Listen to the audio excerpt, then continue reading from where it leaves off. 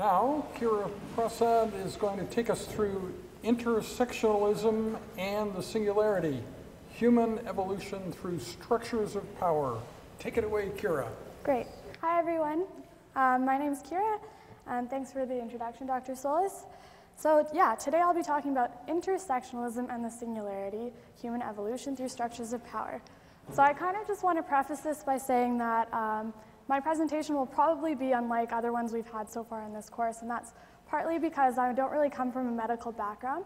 So um, we're going to go through a bit more of a philosophical conversation today, so I hope that's okay with everyone.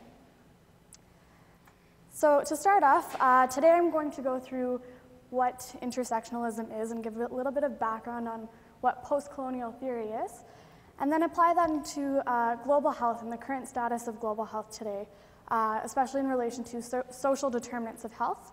And then from there, we're going to look at how technology can be used to bridge the gap in this health disparity. And then lastly, we'll be applying that and the singularity to human evolution. So in order to talk about um, medicine and the future of medicine and technology, I feel like it's relevant to start the conversation in uh, a discussion about the past. And the past that I'm choosing to focus on today is colonialism. And I know it seems pretty far fetched from what we're usually talking about, but I'm hoping it will make sense once I get there. So, colonialism is a really powerful history in the way that it shaped many countries through time, both the colonial power and the colony. So, uh, colonialism is something that's unique in that it's inherently marked by unequal relationships.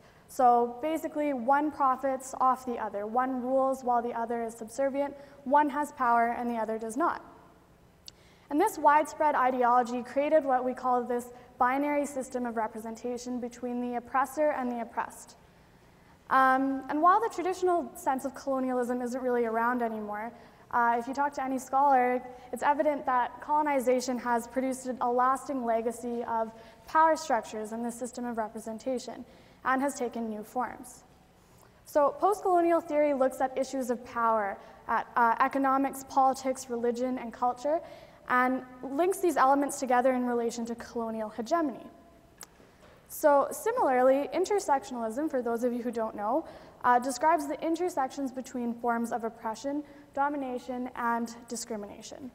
So, today I want to apply a post colonial intersectional analysis to global health and explore how power structures tra translate with the singularity and the evolution of humankind. This is a symbolic representation of oppression that's called a power flower. So basically, this demonstrates how um, an individual's identity has numerous facets. And depending on which category you're looking at, you could either dominate with the, or identify rather, with the dominant group, uh, therefore the privileged group, or the non dominant group, which is called oppressed. So uh, looking at these, um, typically the dominant group in sex would be male, in race would be, in, would be white, in language would be English, in geographical region would be the developed world. But you can see how across any individual's identity, you would have different areas where you are privileged and where you are oppressed. And so, what intersectionalism kind of describes is that you can distinguish these categories in a power flower, but you can't actually distinguish the oppression an individual would feel across any number of these categories. So, what does that have to do with health? Well, first, let's just introduce the context of global health. I want to use the definition the University of Alberta Faculty of Medicine and Dentistry throws up because I think it really aptly describes what I'm talking about here. So, global health is a concept that focuses attention on inequalities and disparities in health, including health status and access to health services, all with a strong focus on fostering justice and ensuring human rights. So, the WHO says that the right to health means that governments must generate conditions in which everyone can be as healthy as possible. Such conditions range from ensuring availability of health services, healthy and safe working conditions, adequate housing, and nutritious food. And I would assume that most of you would agree with me uh, in, in believing in the right to health, and that health is a basic human right. So, if we kind of relay this back to global health, then, uh, the WHO lists a couple of statistics to kind of frame the current state. So, as listed here, it kind of uh, numbers out the number of individuals infected with HIV/AIDS, the number of mothers that die each year uh, in childbirth, the, the number of individuals killed by tobacco or, or traffic road accidents, or the number of children that die under the age of five, uh, or individuals affected by depression. So, I mean, these statistics, um, what's, what's lacking in the description here is kind of uh, a kind of hidden message. Um, of those uh, infected with HIV/AIDS, 70% of the deaths occur in sub-Saharan Africa.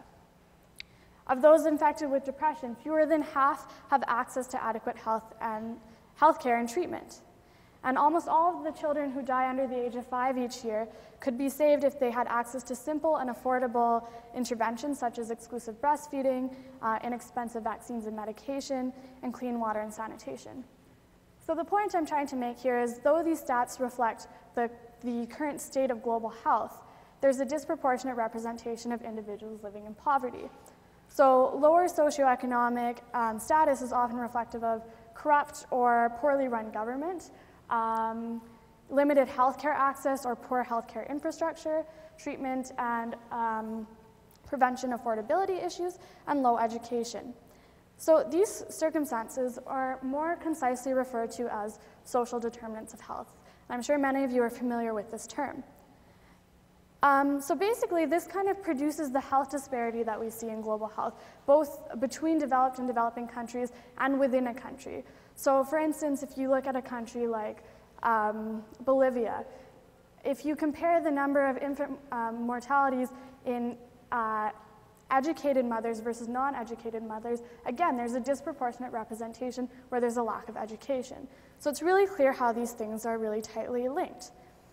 The thing about this to keep in mind is that these social determinants are kind of laid out by chance. It's it depends on where you're born, what type of family you're raised in, um, whether you have access to school, whether you live in an urban or rural setting, um, what your gender is, whether you face racism or not. All of these things that you can kind of see connect back to the power flower that I showed earlier. And so governments have been trying to kind of acknowledge that social determinants of health are really important. Um, and so they adopted the Rio Political Declaration in 2011, um, and set out to act in these five areas. But um, while this agenda has been moved forward, I, would like to say that progress is kind of bittersweet. Um, over the past two decades or so, the average lifespan overall has increased by five years, and that's great. The only problem is that while this is happening, we also see the widening disparity. The rich seem to be getting richer, and the poor seem to be getting poorer. So if you look at America right now, the top 1% of American families own more wealth than the bottom 90% combined. And I'm sure that's a statistic most of you are familiar with. So, what does this have to do with this course? Well, when we talk about bridging the gap in global health, we talk about bridging the gap of this disparity, it seems necessary to talk about the role technology might play in that. Uh, particularly in this course, we've been talking about technology and the future of medicine. So already we see the way that globaliza globalization has led to the widespread use of specific technologies, namely the internet. Compared to 30 years ago, it's virtually impossible for us to buffer ourselves from the rest of the world. Even if you're in the most remote corner, um, we have all of this technological information accessible at our fingertips all the time on our phones. We're connected to it. And being constantly plugged in kind of has its perks sometimes because it's allowed for individuals to be better integrated into the world beyond themselves, um, which has then positively impacted the way that we develop technologies. So in LabMP, we've discussed many technological advances that could potentially revolutionize medicine and healthcare. So this awesome infographic I found basically lays some of those out. In prevention, we're getting to the point of working towards do-it-yourself biotechnology. We're getting clinical trials in microchips instead of animal models. Um, we're working towards gamification-based wellness. And all of these could greatly change the way we prepare for the management of health issues and disease in the future. In terms of data input, we're, we're doing big things with big data. We're working towards personalized genomics, holographic data input, robotic nursing assistance. In therapy, we're working towards optogenetics, evidence-based mobile health, 3D, 3D printed biomaterials and drugs, telemedicine, humanoid robots, and augmented human capability. This is all not far off the horizon. And the consequences of this have started to include artificial intelligence in medical decision support. Uh, recently, there was a publication about a psychologist that was a, basically artificial intelligence that had the, the ability to empathize. So again, we're getting to this point where we're talking about things like the singularity. Um, and I mean, before long, we'll have virtually reality applications, digitized brains, recreational cyborgs, transhumanism, all the things we've been talking about in this course. So it's apparent that the future of medicine is already on its way. So I want to shift gears a bit because as we move towards the singularity, we're prompted to make a sort of philosophical, existential consideration for how the transformation of global health through these technologies that, that kind of revolutionize our healthcare, how that would affect the evolution of humankind as a species. And so we've talked about this in terms of the ethics of using certain technologies and, and how that would change and who that would represent and who that would serve. So for the purpose of this, this presentation, um, while there are probably multiple ways to look at it, I'd like to think of there being two main options when we're talking about human evolution and the singularity. So the first is the perspective of individuals like Stephen Hawking, uh, who stated in relation to artificial intelligence that the singularity and technology's supremacy over human intelligence could mark the end of our species. So if this were to happen, Homo sapiens would become a distant thing of the past, uh, replaced by the very technology that we have created.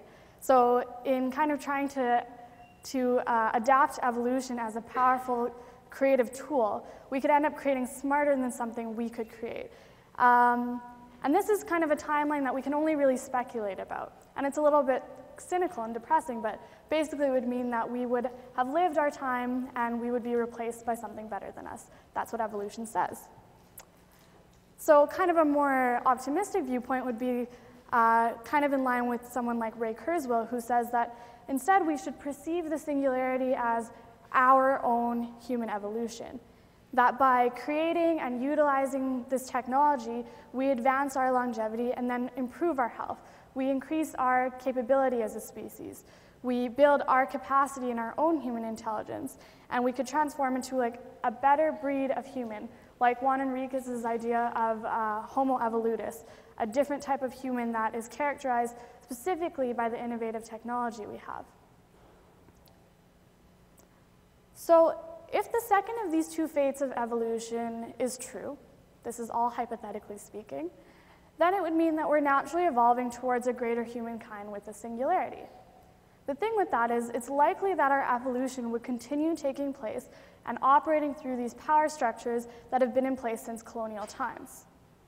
So, with the privilege and bias society creates towards a dominant group, the disproportionate representation we see in health could endure to a place where the voice of the less privileged eventually just fades out.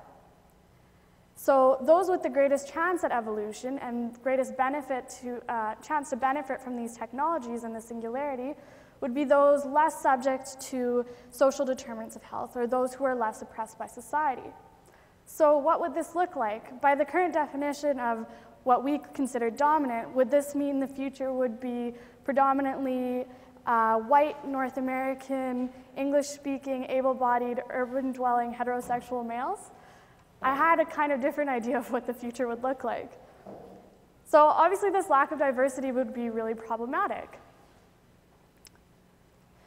And what's more complicated is if we look at Maslow's hierarchy as a guide, this is just as a guide because there are some things that are flawed here, but using it as a guide, it's evident that those kind of struggling to meet the first two or three strata of basic needs, so things like health or social belonging in a group depending on a certain facet of identity, face more challenge in reaching that peak of self-actualization, face more challenge in realizing their own potential and evolving.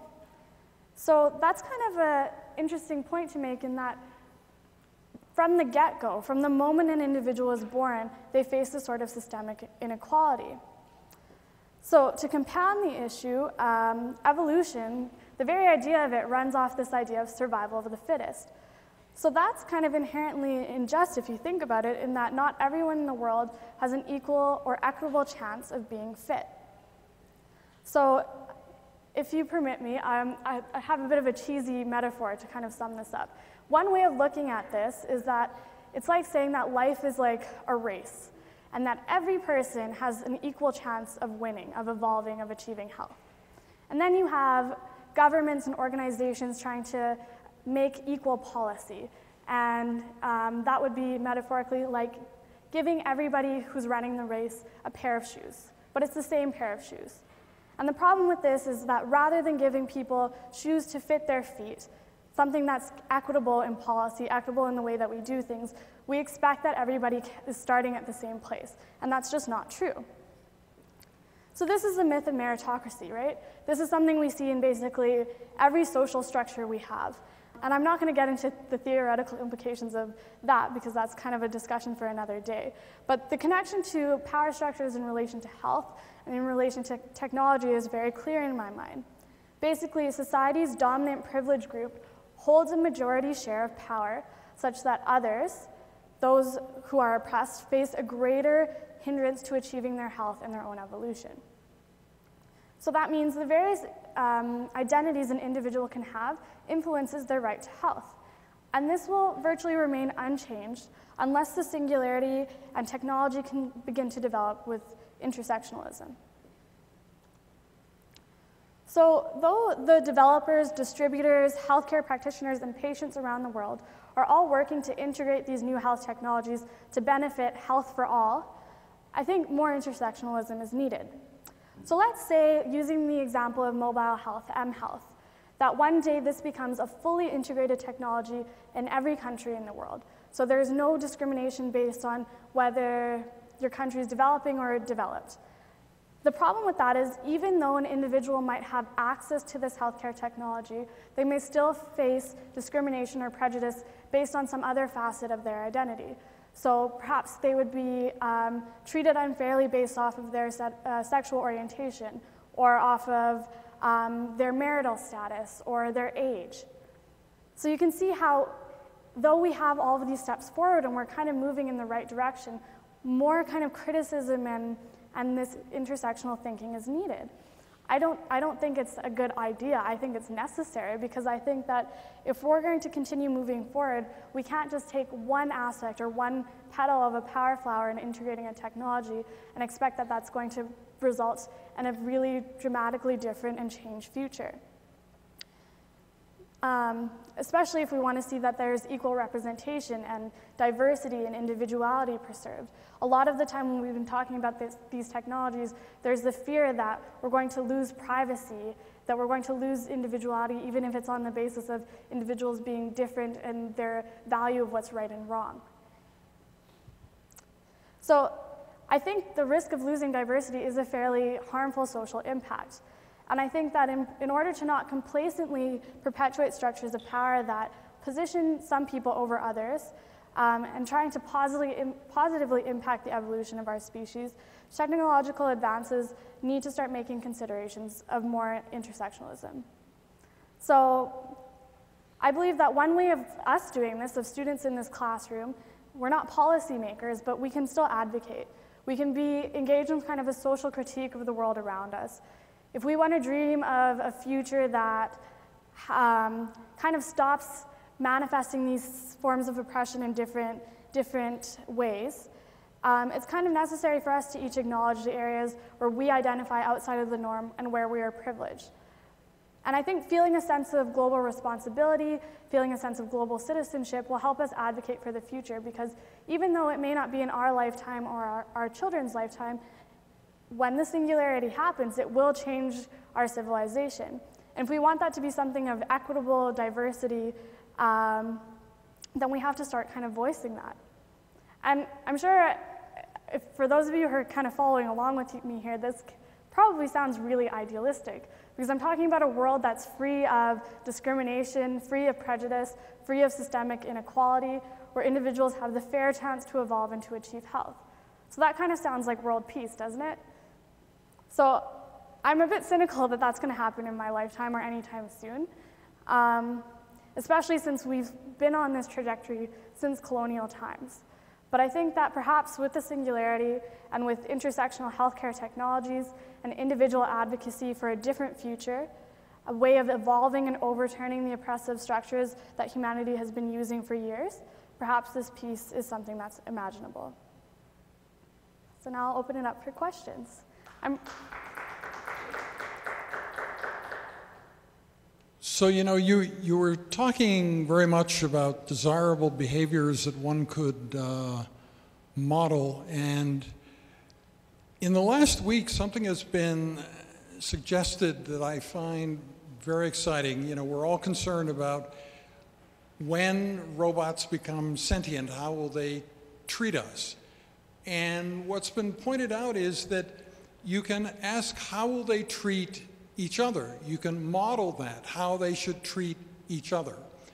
And as robots go from the state they are today of being relatively dumb to being sentient, we can have an uh, influence over all, all the sorts of things that you've been talking about. You know, will short robots be, you know, discriminated against? That's sort of a simple way to think about it. But using their treatment of each other as a model for the way human beings should be treated and human beings should treat each other.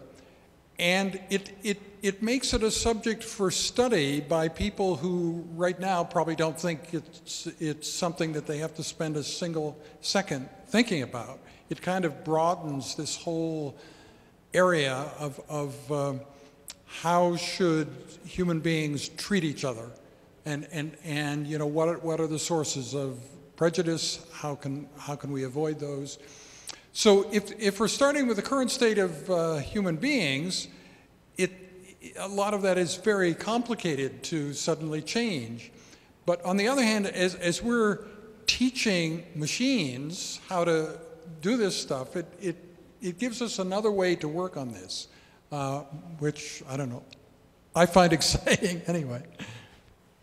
I'm really curious to hear what you guys kind of think about this issue because, as Dr. Solez just kind of pointed out, I think it's, uh, it's really interesting con- to consider what that would look like if, if there wasn't any kind of translation of human social interaction and human structures of, uh, structures of power given to a new species of or robotics or artificial intelligence. Could there be kind of like a clean start? Would there be, is that possible? Is that something to imagine for us? I mean, it's kind of hard to conceive something so different from ourselves, but maybe it's an option.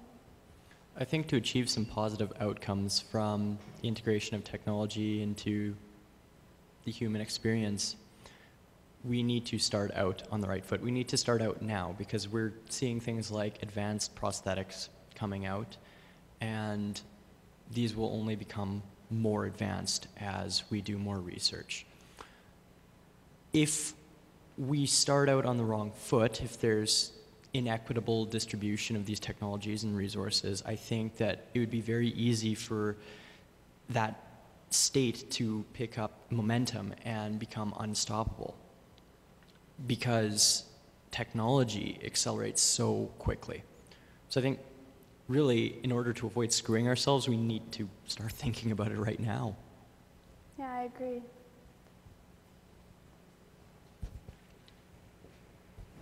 Um, I have similar ideas, although um, ideally speaking, it sounds really um, fascinating and it sounds very promising to think that as we move into the singularity, all of these systemic oppressions will be gone.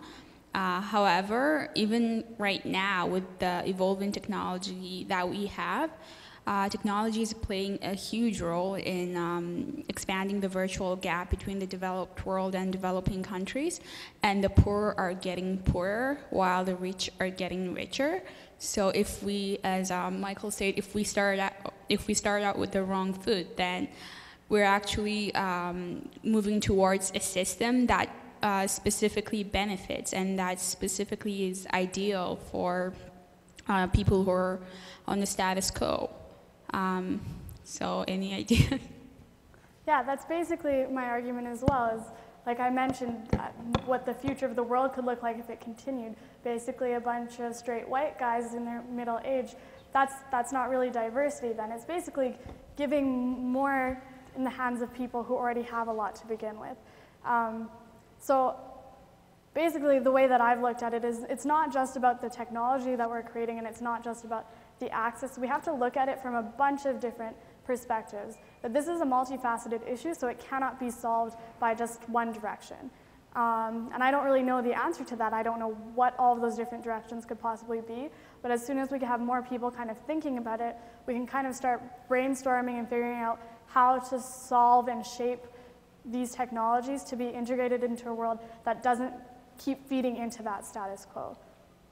Um, so I think uh, it's interesting to look back at what oppression looks like now as compared to what it looked like before. And you bring up the point of the straight white male, but I think that's, while it's still present, I think it's becoming more and more a relic of the past because, I mean, you brought up colonialism, and if we look at colonialism, uh, you know, when, when the British colonized a lot of uh, India or Africa, and when the French colonized a lot of Africa, there wasn't any question of, oh, let's pick out the smart Indians and the smart Africans and make them part of our clique and put all the dumb ones down. It was just, I'm white, you're not, so I'm better than you. Even if, like, you may be the next genius, you know, you may be Einstein in disguise, but because you're not white, you don't count. But if we look at society nowadays, the president of the United States is a black man. I mean, sure, he's half white, but his appearance is that of a black man. And there's multiple, multiple respected women, Hillary Clinton, who are, namely, who are in power, and uh, Angela Merkel, who are very, very respected people. So I think oppression is changing from, you know, a straight white male category to more of a educated, connected, and wealthy category to those who are not. Because, I mean, you see a gated community, like if you look at many news documentaries, when they show the lives of the wealthy or when they show uh, where a lot of these individuals live, it's very, you know, uh, gated communities, secluded areas, and they all seem to have parties with each other. And these part like and these parties don't exclude people like Obama or people like Hillary Clinton. They're in fact very very like expected to come and they're honored guests at these places. Instead, these parties exclude what these people fear are the common folk. You know, uh, everyone else who doesn't have the $10 million. And I think part of that is like human fear of lack of being able to relate, you know, because um, I can't relate to a five year old because I have different concerns in life. And it's the same case when you listen to a lot of people like Mitt Romney speak about, or Ann Romney when they were running for president, to speak about their lives of, oh, we had very little money in college, we just had to use the stocks that our parents gave us. It's hard for them to realize that the average person doesn't have stocks that their parents gave them to get dividends from and live life, right? So I think if we're talking about oppression, we need to address the concerns of exclusionism more than here's a type of person, the straight white guy, that I think has been vilified in a lot of society. And I say that as, you know, not a white guy. But I think uh, in terms of oppression, we need to and if we're going to work on it in terms of uh, singularity, I think we need to deal with it in the sense that we need to try and integrate people no matter who they are rather than say, oh, you know, uh, this guy's a straight white guy, so he's at the top and he'll always be at the top. Because that's really, really not what's happening today. There's lots of straight white guys who are homeless or who are veterans and can't get aid to live, right? So I think it's going to be difficult because humans are more or less built for competition. That's really what pushed us up to the level we are now. That's why we're sitting in nice climate controlled rooms and messing around on computers. But I think it's possible if we work less on the stereotype of what is good and what is bad and more on the how can we prevent seeing others as below us no matter what they look like or who they are because it's really becoming a connections game more than anything nowadays where the CEO of one company is the nephew of the CEO of another company who's the daughter of the founder of a third company. And it's, it's really getting to a disturbing point where the elite are remaining elite forever. But it's not based on culture or racial backgrounds, but more of a, I guess. Yeah, I'm going to jump in here because so basically, I just want to explain. That when I say the straight white male, basically what I'm getting to that is not talking about that that person is in power, but that is the typically stereotypical dominant group, right? And I agree with you on basically all of the points that you're making that when I brought up the power flower, that's kind of the, the same point that we're not looking at an individual for one or three of the 15 to however many categories you can identify with. Obviously, every individual person has numerous facets of their identity. And in some areas, though they identify with the dominant group, they're still oppressed in other areas. And, and I agree with what you're saying. It's not even about, uh, it can never solely be just about race or about educational background or about wealth, because it's all of those things combined. And when we, the reason why I draw it back to colonial structures is because though it's not the same, the exact same um, uh, force that's fueling this, this power structure, you have the same type of representation where you have a binary between those in power and those in not. So those in power can separate themselves from the other, this kind of Orientalist thinking where the other is lesser, is kind of exoticized, they're different and I'm separate from them, that kind of thing, where it still positions people. Whatever the reason, this kind of oppression exists, whether it's a, a social determinant of health or type of identity or, or any of those types of things. And kind of where I was kind of going with that right now, thinking about um, the way that oppression affects health in the future in the singularity is because uh, we're talking about people who are so complex, right? And we're talking about complex social interactions people have with each other that a lot of the times the way that power gets assigned is very arbitrary, like you were saying. All of a sudden, someone has X amount of dollars and they fit into a, an elite. It's something that's, that's sometimes very trivial, but the, the structures that are, that are guiding those interactions kind of are still the same over time.